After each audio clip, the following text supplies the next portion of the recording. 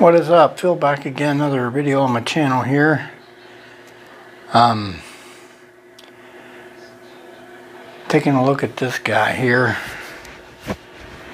It's a 116 scale case 1030 Western Special Prestige Classics number 15. This came out, I think, in 2001. It's a very old precision series from uh, part of the original uh, beginning of the Precision series. It's uh, really old, as you can see by the box. It's uh, got some wear and tear, but the tractor's in really great shape. The box always had, I remember the box was always having this really nice detail and stuff. Pictures, close-up pictures. Of course, it's says Precision Series number 15 on the corner there. And this thing came out in 2001, so it's 23 years old, or 22 years old this year. All right, we'll move on to the star of the show, the Case 1030 Western Special Precision Series. Alright, and here it is, the Ertl 116 scale case 1030 Western Special Precision Series Classics number 15. Really, really cool looking tractor here, guys. It's pretty, it's pretty, pretty awesome. As far as the real tractor, the case 1030, on tractor data, says JI case 1032, 66 through 69. It says the JI Case 1030 Western Special was case model 1032 as compared to the general purpose model 1031. The Western Special had a shorter wheelbase, larger fenders, and an optional wide swing drawbar. They made 13763 and it was uh, $10,300 in 1969. PTO horsepower tested 101.7 Drawbar tested 88.34. Pretty powerful tractor for its day and age. Um, like the look and design of them really well.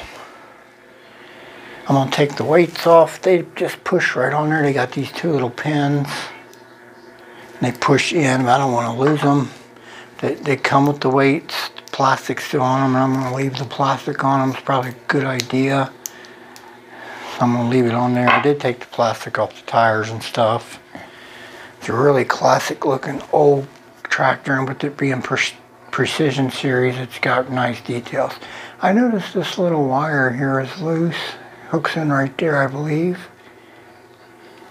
I, I can glue that back. I, I, don't, I don't know if I did it or it came like that, but it's not really a big deal. I can glue that. Here's your drawbar. It's got that swinging drawbar think what it was saying.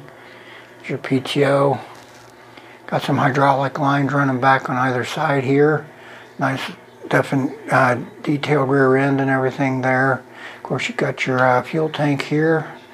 Case Comfort King. Here's a work light on the fender. Pardon me. Driver station's really detailed there too. Black seat with this Desert Sunset trim black steering wheel, nice levers. Guessing this is probably the throttle. That does move. That's pretty cool. That moves. Nice little handles here to get up into the driver's station. Got a gear shift down there. Some foot pedals on either side. Some uh, more levers over here on the right hand side of the driver. It's a really nice detailed, what you would expect from a prestige or a precision series Ertl tractor. Nice steps, both sides of the tractor for entry to the driver station.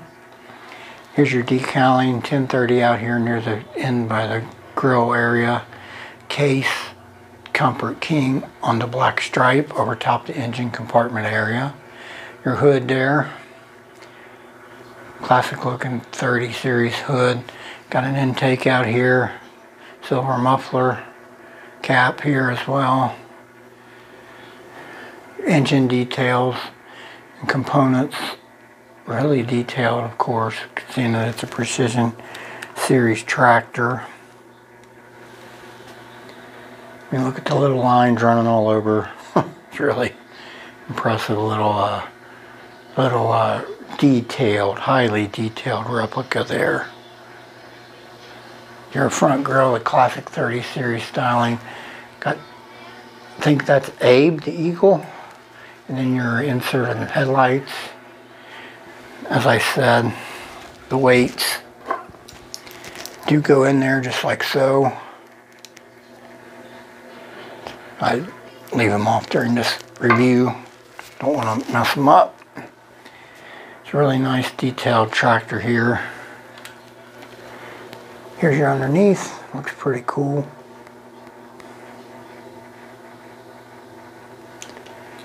Your tires, all four around, all rubber of course. And look there. Tire on backwards of course. I've, this is probably my fourth tractor where the tire is on backwards. Look at that. Nice. I got one with the tire on backwards. Yes. This ain't the first one I've had like that, believe me. But I think uh, this here, I don't know if this was made in USA still back then. I think it was. I'll, we'll look at the box here in a minute. But, uh, yep, rear tire on backwards. They're big, fat Western special tires. Most like a rice tire, maybe. The wheel on the rear, the case Flambeau red in there on the inner part and the outer rim silver. Front wheel is a little uh, four rib. Then your, your front tire, your front wheel, Flambeau red, silver rim, outer rim. The front end's very detailed as well. Steering mechanism I thought looks good.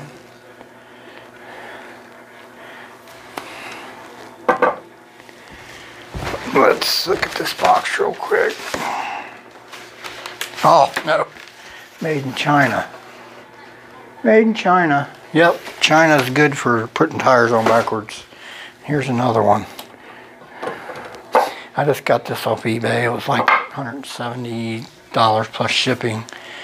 I mean, I, I, that's about as cheap as I've ever seen it here lately. So that's why I grabbed it. Um, I didn't notice on on the pictures that the tire was on backwards. But uh, I'm not going to really mess with it, so we'll leave it as is. It just makes me laugh when I see that, that uh, that gets past Ertls QC in China, apparently. Alright, I'll do a quick comparison. Let's uh, do that now. Alright everybody, here's my Case 1030 Western Special Precision Series alongside a Case 1070 Agri King from the 90s.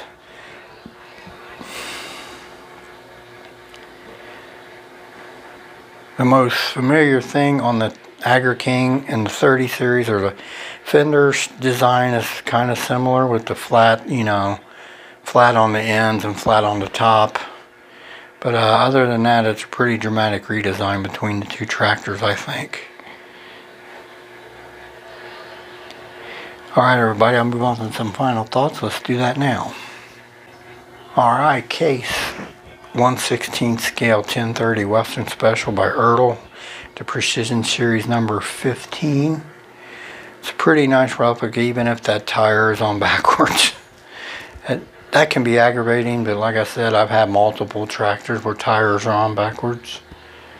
Hey Ertl, you really need to take a look at your QC.